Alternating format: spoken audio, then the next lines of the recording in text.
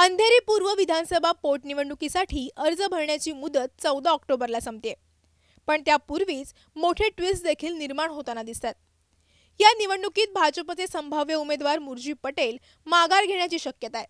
तर मुख्यमंत्री एकनाथ शिंदे यांच्या नेतृत्वातील बाळासाहेबांची शिवसेना अंधेरीच्या मैदानात उतरणार असल्याचं बोललं जात आहे. त्यामुळे आगामी मुंबई महापालिका निवडणुकीच्या आधीही शहरात शिंदे विरुद्ध ठाकरे असा थेट संघर्ष पाहायला मिळण्याची चिन्ह आहेत. आणि शिंदे गट उद्धव ठाकरेंना शह देण्यासाठी थेट ठाकरे गटाच्या उमेदवार ऋतुजा लटके यांना आपल्या गटातून उमेदवारी देण्याच्या तयारीत असल्याचंही बोललं जात आहे. शिंदे गट अंधेरी पोटनिवडणुकीच्या मैदानात उतरण्यासाठी कशा प्रकारे तयारी करतोय तेच या व्हिडिओत पाहू. या व्हिडिओला सुरुवात करण्यापूर्वी एक महत्त्वाची आठवण जर तुम्ही महाराष्ट्र टाइम्सचं यूट्यूब चॅनल अजूनही सबस्क्राईब केलं नसेल तर ते जरूर करा. एकनाथ शिंदे यांच्या नेतृत्वातील बाळासाहेबांची शिवसेना पक्षाला अखेर ढाल तलवार हे निवडणूक चिन्ह मिळालं.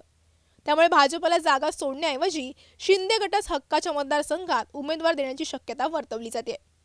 दोन दिवसांपूर्वी झालेल्या पत्रकार परिषदेत शिंदे गटाचे आमदार दीपक केसरकर यांनीही अंधेरी पोटनिवडणुकीत शिंदे गटाचा उमेदवार उतरवण्याचे संकेत दिले होते. भाजप आणि बाळासाहेबांची शिवसेना युतीमध्ये ही निवडणूक लढवतील अशी शक्यता आहे. एकनाथ शिंदे यांच्याकडून कोणाला उमेदवारी दिली जाणार हे अद्याप गुलदस्त्यात आहे.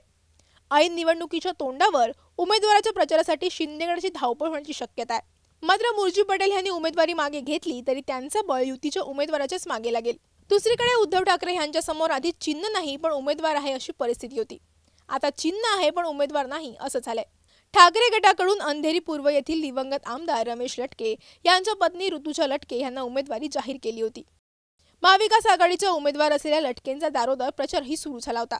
परंतु त्यांच्यासमोरही आता अडचणींचा डोंगर उभा राहिलाय.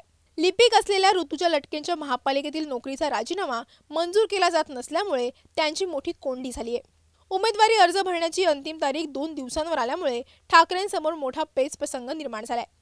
त्यातच शिंदे गटानं ऋतुजा लटके यांना आपल्या गटात खेचण्यासाठी दबाव आणल्याचंही बोललं जात आहे तर ऋतुजा लटके यांना मंत्रिपदाची ऑफर दिल्याचा गौप्यस्फोटही अनिल परब यांनी केलाय. अंधेरी पोटनिवडणुकीसाठी उद्धव ठाकरे यांनी ऋतुजा लटके यांना उमेदवारी जाहीर केली होती. काँग्रेस आणि राष्ट्रवादी पक्षानंही ठाकरेंच्या उमेदवाराला पाठिंबा दिला होता. परंतु आता ऋतुजा लटके यांनाच गळाला लावण्यासाठी शिंदे गडाचे प्रयत्न सुरू आहेत. रमेश लटके यांचं मुख्यमंत्री एकनाथ शिंदे यांच्याशी चांगलं सख्य होतं. रमेश लटके जर हयात असते तर ते आपल्या बरोबरच असते असा शिंदे गडाचा दावा आहे. तसंच ऋतुजा लटके यांच्या विरोधात आपण निवडणूक लढवू नये असंही शिंदे गटातील काही नेत्यांचं मत होतं.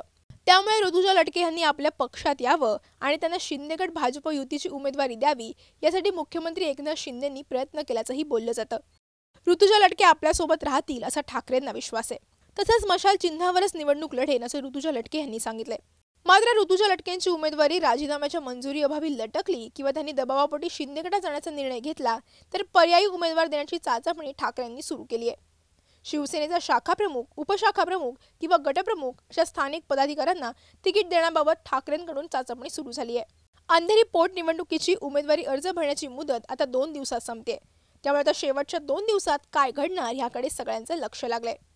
हा व्हिडिओ तुम्हाला कसा वाटला हे कमेंटमध्ये नक्की कळवा. आवडला असेल तर लाईक आणि शेअर करा. असेच व्हिडिओ महाराष्ट्र टाईमच्या यूट्यूब चॅनलवर पाहत राहा. आणि हा व्हिडिओ जर तुम्ही आमच्या फेसबुक पेजवर पाहत असाल तर आमचं फेसबुक पेजही लाईक करा.